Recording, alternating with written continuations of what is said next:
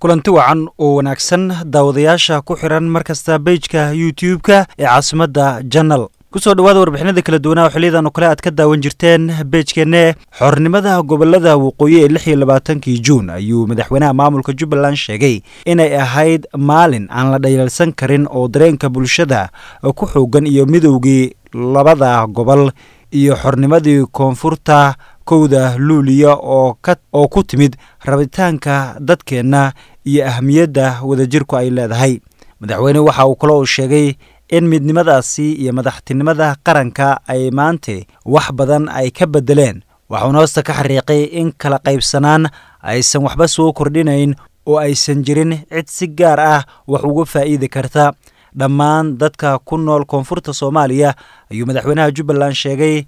in la joogo xilligii gobollada waqooyi laga xaal marin lahaa wixii ay tabanayaan oo ay tahay waajib in lagala hadlo oo laga qanciyo maadaama ay yihiin xudunta iyo xornimada midnimada qaranka soomaaliya madaxweynaha maamulka jubbaland axmed madoobe ayaa yidhi waxaa la joogaa xilligii dadka ku nool gobollada koonfureed ee soomaaliya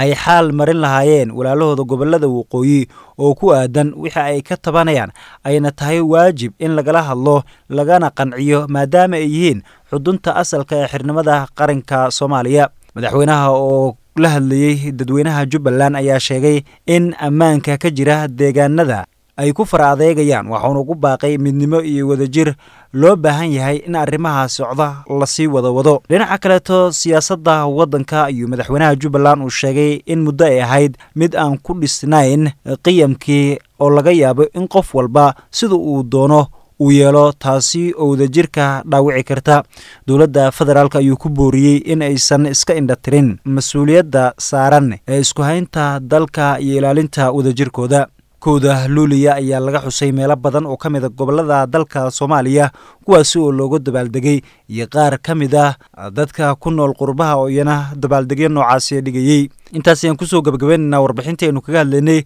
Axmed madoobe oo ku baaqay in la xaal mariyo gobollada waqooyi oo soomaaliya taasi uu sheegay in ay midnimada ummadda soomaaliyeed isku keenayso. Dhegeystayaasha ku cusub janalkeenna waxaan ka codsanaynaa in sabskribe ay saaraan si warbixinadeenna dambe ay ula socdaan insha allah